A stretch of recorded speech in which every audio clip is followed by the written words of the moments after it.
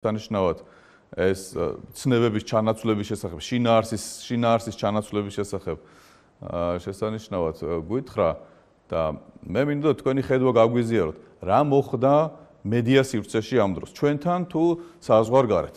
აა მოგესალმებით კიდევ ერთხელ. ჩემთვის დიდი პატივია ძალიან ძირფას გარემოში ამ საკითხის განხილვა და რა თქმა უნდა თავს ნებას მივიცებ და ჩემს მოგრძალებულ მოსაზრებას გაგიზიარებთ.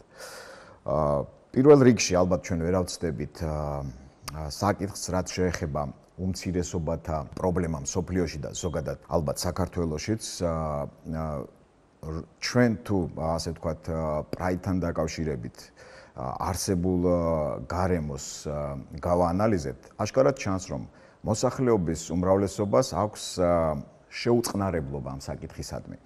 ეს მომენტი აბსოლუტურად გასაგებია და ბუნებრივი არის. ამ საკითხთან დაკავშირებით სხვადასხვა ჩემს კოლეგა მედიის პროფესორთან ჩიკაგოში მქონდა განხილვა, მათ აინტერესებდათ აქ რა პროცესები მიმდინარეობდა და ჩვენ მქონდა ვიდეო ჩართვა და განვიხილეთ ეს საკითხები და მანაც მითხრა გულის ტკივილით, რომ დღემდე არის მაგალითები, როდესაც ჩიკაგოში, ასე ვთქვათ, უმცირესობის წარმომადგენლობების კვლელობებიც კი ხდება.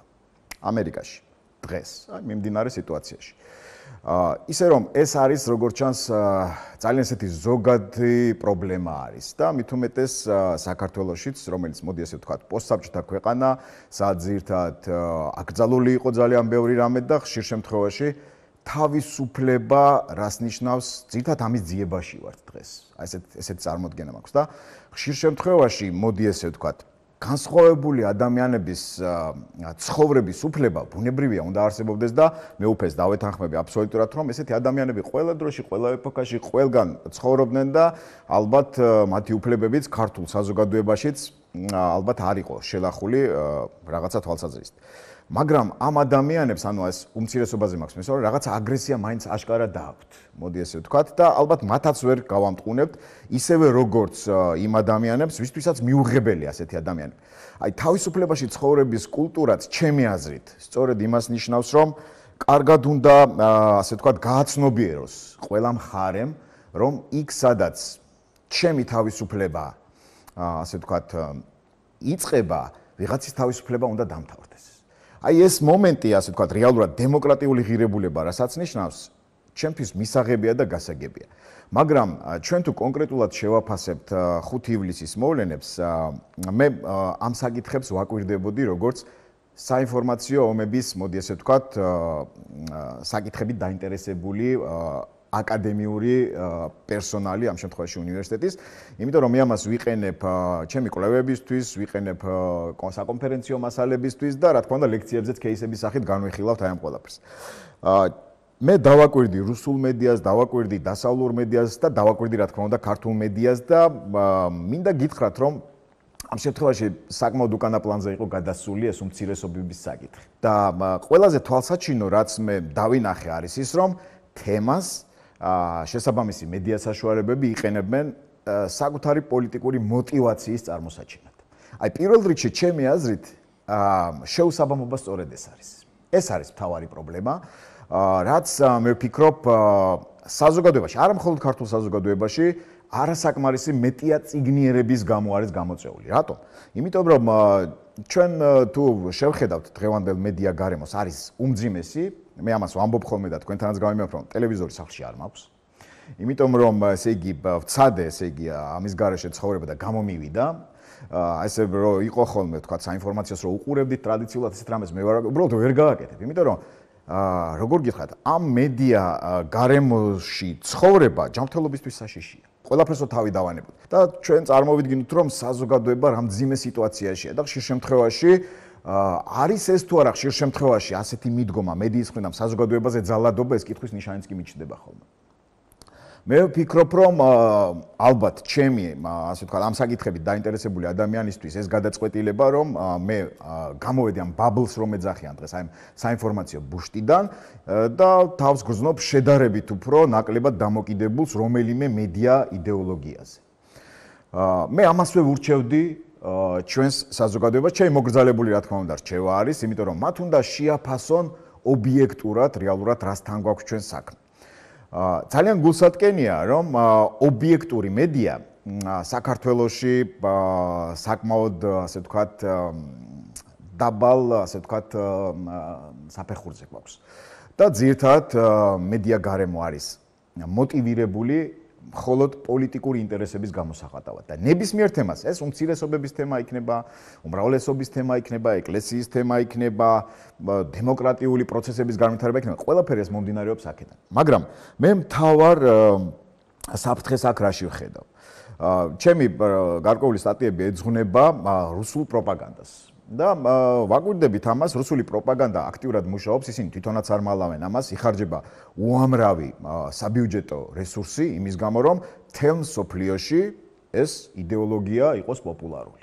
მათ შორის რაშა თუდეი, სპუტნიკი შეიძლება დავასახელთ ესეთი ასე ვთქვათ მედია საშუალებებით, მათ შორის მუშაობს ის, რა თქმა უნდა, საქართველოსშიც. მათ შორის მუშაობს ოკუპირებულ ტერიტორიებზეც და ნუ თავისი მიზნები აქვს და ავრცელებს. და რა თქმა უნდა, ის თავის მიზანს ხშირ შემთხვევაში აღწევს. რომ გაავრცელოს ეს მისი იდეოლოგია. მაგრამ რა არის პროპაგანდის მთავარი ამოცანა და მიზანი? პროპაგანდის მთავარი ამოცანა ნაკლებად არის ხოლმე რომ მაინც და მაინც თქვას რომ თქვათ აი ეს წიაღი, რასაც თქვათ რუსული წიაღი ქვია, რუსული ასე თქვათ იდეოლოგია ქვია, არის კარგი და თქვათ დასავლური არის ცუდი, ეს რა თქმა უნდა გამომდინარეობს ხოლმე, მაგრამ ყველაზე მნიშვნელოვანი მისთვის არის აა ასე თქვათ პოლარიზაცია საზოგადოების. მათ შორის ქართული საზოგადოების და დასავლური საზოგადოების ჩვენ თუ გავიხსენებთ 2016 წლის ამერიკის საარჩევნო კამპანიას იქაც პრაქტიკულად პროკურატურის დონეზე გამოძიებით დადგინდა რომ ეს ჩარევა იყო ამერიკის არჩევნებში და წარმოიდგინეთ თქვენ ამხელა მიზანს მიაღწია რომ თავისი შედეგი აჩვენა აქ რუსულმა პროპაგანდამ და გარკვეული თვალსაზრისით საზოგადოებაზე ზეგავლენა მოახდინა. ბუნებრივია, ისეთი მოწყვლადი საზოგადოება, როგორც ჩვენი საზოგადოება, ამ საფრთხის წინაშე გაცილებით სუსტია. და რა თქმა უნდა ჩვენთანაც მიმდინარეობს ეს პროცესები. მაგრამ ჩვენ თუ ახლა ამ შემთხვევაში ქართულ მედია საშუალებებს რომლებიც ხშირ შემთხვევაში აა სარგებლობენ იმით, რომ სიტყვის თავისუფლება უნდა იყოს მაქსიმალურად წარმოდგენილი და რა თქმა უნდა მე მივესალმები სიტყვის თავისუფლებას და მე შინაგანად დემოკრატიული, ასე ვთქვათ, ცხოვრების წესის მომხრე ვარ, თუმცა ისეთი დემოკრატიული ცხოვრების წესი, რომელიც ემყარება მორალურ ღირებულებებს, ტრადიციებს და ის ქართულ კულტურაზე არის ამოზრდილი. და რაც ჩემთვის და მე მინდა ასეთ საქართველოსში ცხოვრება მაგალითად. მაგრამ ნახეთ როგორი სიტუაცია, მას შემდეგ რაც ჩვენ გავაკეთეთ განაცხადი, რომ გვინდა დემოკრატიული ღირებულების საზოგადოების შექმნა, სიტყვის თავისუფლებაზე გაკეთდა დიდი აქცენტი და აი ამ შემთხვევაშიც როგორც ქართველებს გვახასიათებს აშკარაა, რომ მეორე უკიდურესობაში ვართ გადავარდნილი. სადაც სიტყვის თავისუფლება და ნებისმიერი რამის თქმა ერთმანეთისგან ხშირად ვეღარ გაგვირჩევია ხოლმე და ესეც პრობლემა. და ამავე დროს, როდესაც მედია საშუალებები ცდილობენ რომ საკუთარი, ასე ვთქვათ, ესეც დასამალი არ არის და პირდაპირ ამბობენ ეს მედია საშუალებები, რომ რეალურად ისინი პოლიტიკური პარტიის ინტერესებს ატარებენ, ხო? ამ შემთხვევაში თავშივე უკვე ობიექტურობის განცდა ქრება, მაყურებლის თვალშიც კი. და მე მინდა ასევე ვთქვა და ჩემი წრფელი აზრი გამოხატა, რომ ჩემს გარშემო უკვე ადამიანებისთვისაც მიუხედავად იმისა, რომ მედია ციგნიერების, ასე ვთქვა, დონე არ არის მაინც და მაინც მაღალი, უკვე გასაგები არის ადამიანებისთვის და ყველაფერი გამჭვირვალეა. ვინ რას რატო ამბობს? აა თუნდაც ტელევიზორის ეკრანიდან. იმიტომ რომ ადამიანები ძალიან კარგად ხვდებიან და დღეს ადამიანები ბუნებრივად განვითარდით და აი კომუნიკაცია უსიტყვოდაც ხშირად მყარდება უკვე ადამიანებს შორის და ის ჩანს. ადრე თუ გვიან მე ასეთი მედია საშუალებების მიმართაც შემიძლია გაბედულად განვაცხადა რომ ეს ყველაფერი გაცხადდება და ეს ყველაფერი ნათელი იქნება თუ რა მოტივია ასეთი ასე ვთქვათ პანიკური განწყობის დათესვის თვალსაზრისით საქართველოში მაგრამ მე ისევ დაუბრუნდები, თქვა ჩვენ თუ გვაქვს ესეთი მიდგომა, რომ რუსული პროპაგანდა საშიშია საზოგადოების პოლარიზაციისთვის, ქაოსის დათესისთვის და ამის გამო ჩვენ შეიძლება თქვა განვითარებაში ჩამორჩეთ, ძალიან ბევრ მიმართულებით წავაგოთ და თქვა არასწორი მიმართულებით განვითარდეთ. რა განსხვავება თუ ადგილობრივი მედია ანალოგიურად ქაოს დათესს? ადგილობრივი მედია ანალოგიურად საზოგადოების პოლარიზაციას გამოიწვევს და შეეცდება, ასე ვთქვათ, რომ აი ეს დაპირისპირება და კონფრონტაცია საზოგადოებაში გაიზარდოს. მე განსხვავებას ვეღარ ხედავ. ანუ მიზანი ამ შემთხვევაში საერთო იქნება. ამიტომ მე ვფიქრობ, საზოგადოება სწორედ ამაზე უნდა დაფიქრდეს. რა შემთხვევაში შეძulis შეცulis მედია თავის მიდგომებს საკითხისადმი? ა მედია ყოველთვის იქნება აქტიური იმ მიმართულებით, რა მიმართულებითაც ის რეიტინგს გაზრდის. დღეს ვიდრე არის ნიადაგი საქართველოში, რომ ასეთი ტექნოლოგიები, ხო, ჩვენ ხო რეალურად ობიექტური საინფორმაციო საშუალება არ გვაქვს, ხო? ყველაფერი არის ან შოუს სახით წარმოდგენილი, ან რაღაცა ესეთი ვითომ დისკუსიის სახით წარმოდგენილი, სადაც ძირთა ჩხუბი, აყალმაყალი, ქაოსი და ეს ყველაფერი არის იმისთვის გამოყენებული, რომ თავარი მესიჯები, როგორც ასე ვთქვათ, ამბობენ დღეს მედიის მიმართულებით, გავრცელდეს სწორედ მასაში, რომელიც რატომღაც ორიენტირებულია რომ ასეთ სენსაციური განწყობილებების გადაცემას უყუროს და ასეთი სენსაციური განწყობილებების სიუჟეტებით ასე ვთქვათ მიიღოს ინფორმაცია. და ბუნებრივი პროცესი მიმდინარეობს, მე ვფიქრობ ამას გარკვეული დრო დაჭირდება იმის გამო რომ საზოგადოების გემოვნებად შეიცვალოს, იმიტომ რომ საზოგადოება რომელიც გადართავს უკვე და ჩემსავით ტელევიზორს ვთქვათ აღარ ჩართავს ამ საინფორმაციო ზუსტად იცის უკვე ვინ რა რატომ უნდა თქვას. უბრალოდ შეიძლება ეს შეფუთული იყოს რაღაც სხვა საინფორმაციო ჩარჩოში. ალბათ ამის შემდეგ უფრო შედარებით დაალაგდება, მაგრამ არჩება ერთი მაგრამ მაშ რა დააშავა საზოგადოებამ რომელსაც არც დრო აქვს არც ვალდებულება არ აქვს იმისთვის რომ იყოს შესაბამისად ასე ვთქვათ მედია ციგნიერება აი ამ შემთხვევაში ალბათ უნდა ყველა რესურსი გამოვიყენოთ ვისაც როგორ შეგვიძლია რომ ამ მიმართულებით ინფორმაცია მივიტანოთ ფართო საზოგადოებამდე და მათ აუხსნათ. ჩვენ არ დავიზაროთ რომ აუხსნათ მას რეალურად რა დგას აი ამ ყველაფრის უკან. და რასთან გვაქვს საქმე და ჩემთვის თუ შევხედავ თუ არა რომ ძალიან მკაფიოდ ჩანს რატო აპელირებენ ამა თუ იმ თემით აი ესე უნდა გახდეს ფართო საზოგადოებისთვისაც ძალიან მკაფიოდ და ნათელი. რატო არიან ეს ადამიანები ასე შეწუხებული თქვათ რაღაცა თემით? უნდა ვასწავლოთ ესე იგი მოსახლეობას უნდა ვასწავლოთ. რა манипуляციები საშუალება აქვს მედია საშუალებებს რომ ესე იგი ამ ადამიანებმა შეეძლონ ანალიზი გააკეთონ იმ გადაცემისა, რასაც უყურებენ და ფაქტი გამოარჩიონ იმ ვარაუდებისაგან, რომელსაც ჟურნალისტი ხშირ შემთხვევაში თავისი დასკვნების სახით აწვდის როგორც ფაქტს.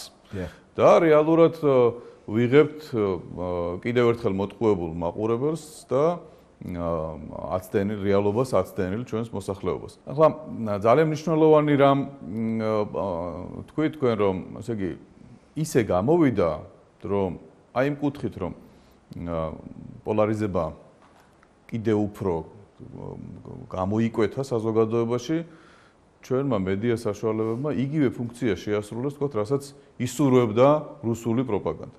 მე მინდა გავიხსენო, რომ როდესაც